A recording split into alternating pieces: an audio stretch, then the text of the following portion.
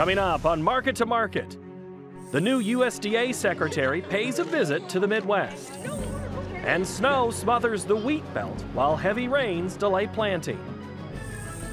Those stories and market analysis with Elaine Kub and Walt Hackney next. Funding for Market to Market is provided by Grinnell Mutual. You think differently about a customer when you stand in the middle of his dreams. We work to make sure you get covered right. Grinnell Mutual, a policy of working together. Information on finding an agent near you is available at grinnellmutual.com. This is the Friday, May 5 edition of Market to Market, the weekly journal of rural America. Hello, I'm Mike Pearson. Tech behemoth Apple reported this week having $256.8 billion in cash on hand. The available capital is roughly the value of the 2016 U.S. corn, soy, and wheat crops at today's price twice, and there is still almost enough money to buy nearly every franchise in the National Football League. And with more people working than just a few weeks ago, more iPhones could fly off the shelf. The Labor Department says 211,000 jobs were added last month, and the unemployment rate dipped to 4.4 percent, the lowest in a decade. The U.S. trade balance narrowed in March, the smallest since October. The gap between exports and imports fell to $43.7 billion. The benchmark interest rate will hold steady per the Federal Reserve Board, who predicted the recent slowdown in growth as temporary. Crude oil dipped below $45 this week as OPEC mulls further production cuts amidst worries of a growing glut. And producer sentiment rose again in April's Purdue CME Ag Economy Barometer. The measure of 400 producers was up six points to 130. As rural America seeks positives in the world economy, the new Secretary of Agriculture looks to prove it is always sunny in Nevada. David Miller reports from his town hall in Iowa.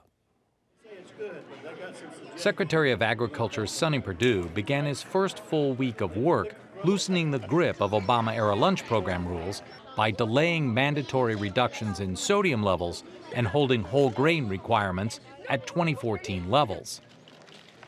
He capped the week with a trip to Iowa. Calling himself the unapologetic chief salesman for U.S. agriculture, Secretary Perdue met with political and business leaders at the Couser Cattle Company located near Nevada, Iowa. He spoke off the cuff about U.S. agriculture. They wrote me a 17 page speech now. Would y'all rather me do that or talk from my heart? Okay? There you go. And what I see when I come to Iowa is family is important, multi generational family. The love of the land, the love of what we do. Think about what a noble cause it is. Folks, there are a lot of businesses out there today that I don't want to be involved in, but I'm proud to be called an agriculturalist. Think about the nobility of what you do worldwide. We owe it to the consumers of the United States as well as the world to let them know that we are concerned about their safety, the wholesomeness and nutritional capacity of the food they consume. They deserve to know, and we ought to be able to tell them. That USDA stamp is a good housekeeping seal of approval worldwide, and that's what people want. We trust it. And the USDA has built their reputation over trustworthiness. We're trustworthy because we tell the truth, and that's what we want to be known as truth tellers. My father passed away in 1998. He was a lifelong farmer. We were diversified row crop. He unfortunately loved truck farming as well, so I've had my share of watermelons and cantaloupes in my hand, as well as I put my way through college with sweet corn. But, you know, I can still hear his voice ringing. Whether we're renters or owners, we want to leave it better than we found it and that's what uh, that's what we want to do from the USDA. That's what we want to do for our land. It's God's bestowment upon us, and we are all stewards. Whether we own this land or whether we rent it, we want to leave it better than we found it. So that's our heart. The president understands uh, with the, certainly the immigrant farm later, that uh, these are people that have helped our farmers across the country. He's very concerned about the, getting the criminal, uh, illegal element uh, uh, out of this country, and I support that. Support uh, General Kelly at DHS to do that, but we got to be very careful that we don't disrupt a farm labor supply here that's been very integral to agricultural production. The goal of a good leader is to get diversity across there. Geographical diversity is important. Industry-wide, is the diversity is important. You can't have all corn growers, you can't have all soybean growers, nor cattle or pork or beef. So we want to get diversity there. Not only that, but you've got gender diversity, you've got racial diversity. I want the USDA to look like America and perform, uh, I, I want it to be the best most effectively managed and operating agency in the USDA. That starts with good people. Well, to be uh, facts-based, data-driven, customer-focused, with ethics and transparency and integrity, to be the best managed, the most effective, the best value for the American taxpayer and all the United States government. The drought monitor set a diminishing record this week with the smallest portion of the country in drought. The University of Nebraska Lincoln survey dates back to January 2000. As Josh Buettner reports, most of the Corn Belt has more than enough moisture, and it came in several forms the past few days. The National Weather Service reported 10 to 20 inches of snow fell within a 40-mile band in northwest and central Kansas last weekend. The blizzard forced officials to close parts of Interstate 70 and most highways in the region. Wheat futures surged to a two-month high as maturing crops sat ravaged under the weight of wet snow. But the rally retreated after dozens of farm analysts fanned out for the state's annual wheat tour and initially found better than expected conditions. On Thursday, the Kansas-based Wheat Quality Council released the tour's results, estimating an average 46.1 bushels per acre for the current crop, contrasted with last year's 48.3 but informal polling of the group and growers resulted in a projected yield of 282 million bushels, down significantly from last year's 467 million bushel harvest. While severe weather has cast a lingering shadow across the state with vague regularity, elements of Kansas's political climate rained down on critics at the conservative Washington, D.C. based think tank, the Heritage Foundation, who have, in the recent past, called for an end to crop insurance programs. According to the National Association of Wheat Growers, whose president cultivates 4,500 acres of the grain in western Kansas, over 90% of Jayhawk wheat was insured in 2016, with harvest value of around $2 billion. The group pointed out most policies protect against revenue losses rather than yield discrepancies.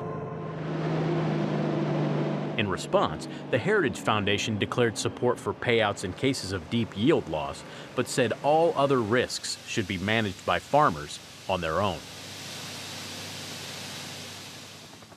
Several pockets of the Midwest, South, and Northeast dealt with a deluge of heavy rain this week as well. USDA crop figures indicate corn planting progress in neighboring Missouri and nearby Iowa to be significantly lower than this time last year. Show Me State soybeans face a similar situation, while thus far soggy conditions in the Hawkeye State have pushed planting percentages for the oilseed down into the single digits for a second consecutive year. For Market to Market, I'm Josh Buettner.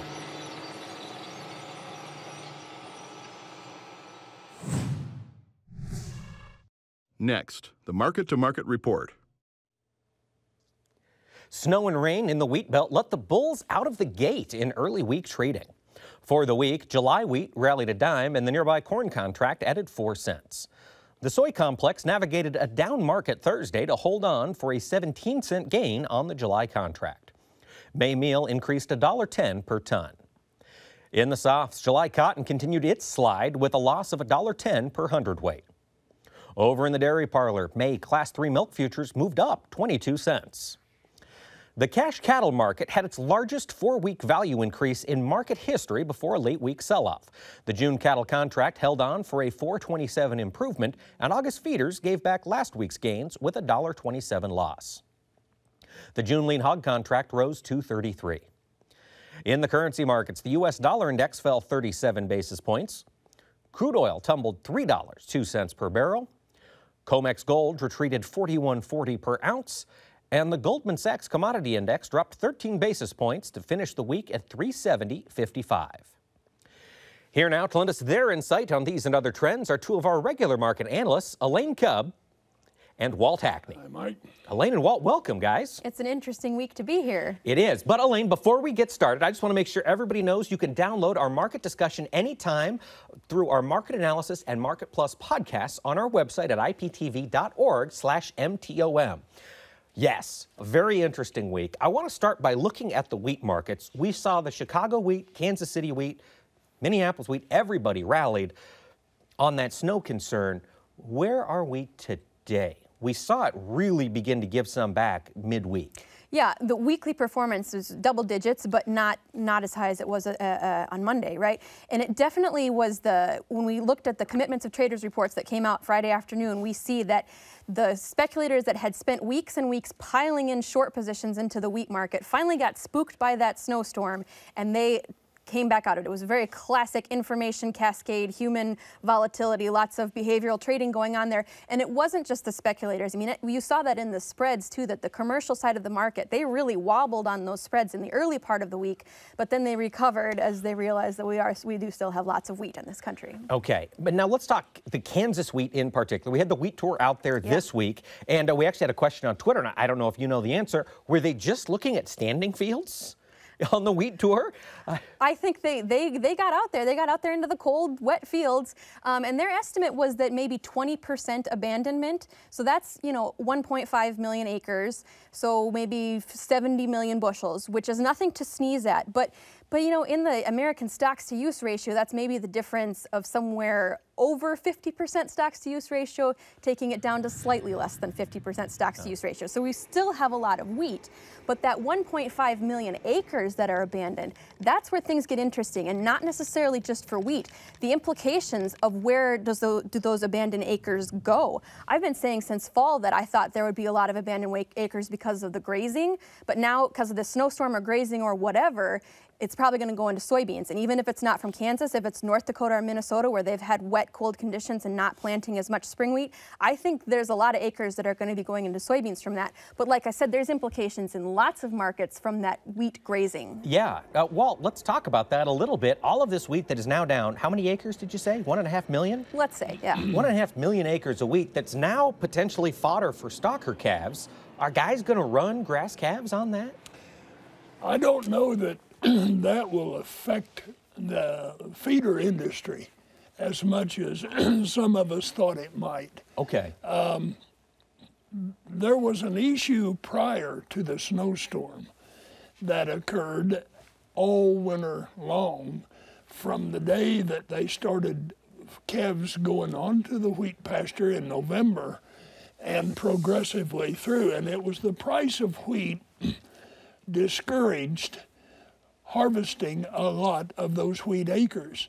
As a result, those producers that had cattle on the wheat elected to forego the harvest and leave the cattle out on the wheat. So, in respect, then, these down acres that were created by the snowstorm, they may increase some of the pasturage in those areas, particularly in northwest Kansas around Hays and through that country. But primarily, there's still a huge amount of those wheat acres below that that did not get the storm, and they are still retaining cattle on them in a graze out position. Gotcha. So we will see abandonment, but Elaine, like you mentioned, we're probably going to see a lot anyway, given these prices. Now, did, was that midweek, was that the top of this market? Did we get the weather scare in the wheat market? Um, I, there might still be news. I mean, I think agronomically, you still have to wait to see exactly how much damage there was. But as far as the response in the market, the, that short covering yeah. burst from the speculators and that price response, that may have been it because we still have that much wheat and it still has to compete with corn in a feed market and it still has the same fundamental relationships. Okay. Well, let's talk about the corn market because we do see continued delays as we look at, at rain across much of the corn belt, as we look at snow up in South Dakota and northwest Iowa and southern Minnesota. We've got a question here from Glenn in Bryan, Ohio. And uh, Glenn is curious. He wants to know which chapter of your book, Mastering the Grain Markets, covers marketing a crop that's still in the bag when are we going to get a rally on a late planted crop? That's a well-worded question. That's a, that's a good question. And, and I know it's so frustrating to have late planting, but here's the problem is that markets are not very inclined to respond bullishly to wet planting situations. You guys talked about the drought monitor has dramatically improved in the past few weeks. So that means for all of these acres that are being flooded, absolutely, there is flooded acres that are going to have to be replanted and there will be a yield drag in some of those fields. And there are people who are frustrated because they haven't been able to get planted yet and they will probably experience a yield drag individually. But along with all of that, there is all of these other acres that are really happy to have received this extra moisture and we'll have a yield boost from that. So frankly, the moisture story is probably more bearish than bullish for corn. So where we sit today with guys looking at, at corn they haven't planted yet, with some folks, particularly in the southern half of the Corn Belt, wondering when or if they're going to make that switch to beans or just take preventative plant, how do you handle the marketing in an uncertainty period? Or would you just not be a seller in here at these prices anyway on December corn? Well, I, I just want to point out that it's May 5th, and I don't think that we need to worry about switching to bean acres yet. Give it a week or two. Okay. But, but, but yeah, absolutely, that will be a concern because those acres that are flooded, it will take a long time for them to, to wash out. But you know, um, I'm, I'm starting to be concerned if folks don't have things sold. We did get a nice boost here in corn, whether it was just following along with the wheat story. You know, 388, you back up some basis off of that. People can make money here. And we do not know that there will be a weather a weather scare in the summer. And I know Tom was on last week making this exact same point: is that we all have been been pointing out this summer weather rally, summer weather rally, and we hope for it, but we don't know that it's going to happen. So if you don't have anything sold and you can make money here, I mean, golly, you got to have some risk management. Buying some puts, or you selling the futures? Uh, I would either be selling cash or buying puts. Yeah, absolutely. Okay. All right. Well, now let's talk about the soybean market because we do have, as you mentioned, potential increase in acres out of Kansas. We've got a potential increase in acres out of North Dakota as their wheat uh, planting gets further and further delayed. 13 cent bump right. on November wheat or November soybeans. I know. What happened? Uh, you know, I, I, have to believe that it's probably just part of that uh, that whole speculative side of the market really pulled back on their trend of short selling. Like, but I think that the shoe might drop. I don't understand, I couldn't explain to you right now today why that extra acreage has not yet been priced into soybeans. So it's either going to drop or maybe something's happening in Argentina that I don't know about. You know, I don't know. I, don't, I can't explain that. And so it makes me nervous and it makes me want to sell. Okay, so it makes you want to sell. Here's the other question we've got for you. On this weather scare, this snowstorm that went through Kansas and all the rains and so forth, we saw the markets respond.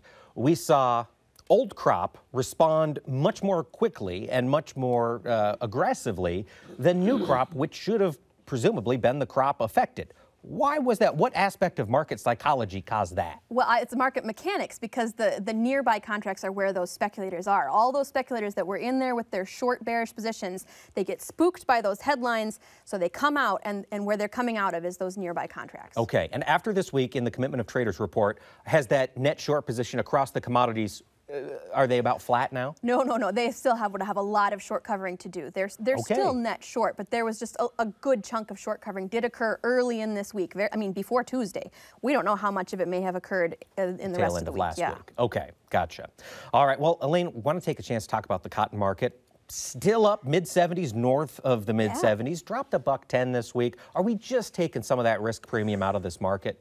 Well, you know, I yeah, I'm I'm inclined to be selling new crop cotton because again of looking at that drought monitor and the good conditions that people might expect. Now, people might have had an 80 cent target and the nearby contracts did hit that, but the December contract did not. But I I don't think you should be sitting here waiting for 80 cents in the December contract based on all of the nervousness from crude oil coming down because China demand might be you know wobbling. Let's I'm nervous about that. Nervous you're inclined to just take, hey, where we're at today, yeah, it seems to be plateauing, yeah. Okay, all right. Well, now, We've got time, Mr. Hackney. We need to discuss this cattle market. It has been a roller coaster for the past three weeks, but the last week and a half in particular. And we've got a question here, I think, to start us off from Brian in Southeast Iowa. Brian's on Twitter at Bayless Beef, cattleman down in uh, Southeast Iowa. He wants to know at what point do we lose consumer beef demand to cheaper pork? When do the buyers at the grocery counter start to move away? I believe that we had the opportunity to lose our consumer demand on beef because of cheap pork and poultry um, a year and two years ago. I think it's behind us. Okay. I think the consumer is geared for luxury cuts of beef as we speak. I think you've seen the effect of that interest in consumer acceptance the last two weeks exactly, and maybe three. Every evening we were two and three dollars a hundredweight up in the beef choice cutout, which is your primals primarily, and the the um, opportunity for the consumer is not economics right now in regard to food stuff. It's the quality of their diet, and they want good choice beef in their diet right now. You know, that being said, we had a grocery store in, in my little community that was selling ribeyes for $8.49 a piece, eight ounce ribeyes. What is that? 16 bucks a pound? Yeah. Yeah, that's some, that's some decent price. How long can those kind of prices support cash trade in the 140s? Can we continue to push this thing higher, Walt? if we're if we're suggesting that we're going to retain 140 in the cash market, then we're going to have to monitor the usage in the retail sector very closely, and we're going to have to look at the tonnage going to the retail sector. That's one of the pluses we've had for several weeks in the beef industry is the weight of the cattle coming out of the feedlots have been very nominal. Mm-hmm. It's been very useful. It has not been any kind of a fed lo- overload, if Right. you will. The beef weight has been a real plus because of the consumer demand. They've used it very quickly as it's hit the retail. I find no reason to see anything changing in that unless we have a market similar to we've had yesterday and today.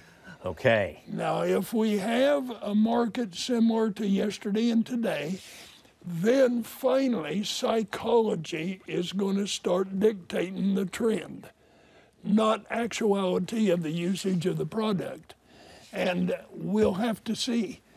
Uh, it was debatable and it was predicted by certain entities in the industry that we would have a turnaround in this economical blow up, if you will, an explosion, if you will, historic raises in the beef, if you will. And there's been those that have weathered many storms in that regard, have said, wait and see. And by waiting and seeing, it started Monday of this week. And you notice June, if you did, went up, mm-hmm. didn't it? Yep. That makes that theory wrong. Yep. Except on the same day, December went down. Yes. And when December went down, that was a trigger to some of our industry analysts that there's something haywire. There's a skunk in the woodpile here somewhere. The skunk is the prod exactly what you and Elaine have been discussing in this wheat industry. That's the issue. The issue is graze out cattle that should have and historically are out of the wheat pasture March 10th to 15th. Now they're still there. And today, as we speak, they're still standing there. Now, Mark or um, Mike, that isn't that is not a reason for a calamity, except when you project those cattle coming off of the graze out wheat weighing nine to a thousand instead of eight to 850, that steer coming out in December and uh, November, instead of weighing 13, is going to weigh 15. We talked tonnage was driving this cash market. It is. It'll also drive it down the hill as well as up the hill. All right. Now, there's a huge discussion we can have on feeder cattle as well. Do you see that quickly just going to chase live cattle higher, or are we going to see a steeper break in the feeder cattle given they were limit down the past Thursday and Friday? Well, I think the feeder cattle movement in the mercantile was almost a direct relation to the conversation that you and Elaine had about this graze out issue. Okay. And and I have contacts who deal in huge numbers of feeder cattle in the southwest off of wheat pasture, indicating this month to the 15th of June, which is very late in usual marketing periods for wheat pasture cattle, this year they're going to have record numbers because of the cattle moving off of the wheat. But the worst thing is, instead of a win, eight, eight and a half, which is usual, they're going to be weighing nine to thousand. And in that regard, they're going to have record numbers. They're going to have record placements of that weight cattle going to the feedlots. And as a result, in December, you're going to have big beef. All right. Well, Walt Hackney and Elaine Kub, thank you both so much for taking the time to be with us this week. It's an interesting week. It has been. And we will talk lean hogs in the market plus portion of our program, which you can find on our website. And Elaine and I will also, and Walt and I, will also keep the conversation going, including answering more of your questions during Market Plus, which you can find in podcast and video form right there on our website. While you're there, check out the link to our Instagram page where we post photos from our journeys across America and behind the scenes adventures. Find us at IPTV Market. And join us again next week when we explore how one farming community is cleaning up their water supply. So until then, thanks for watching. I'm Mike Pearson. Have a great week.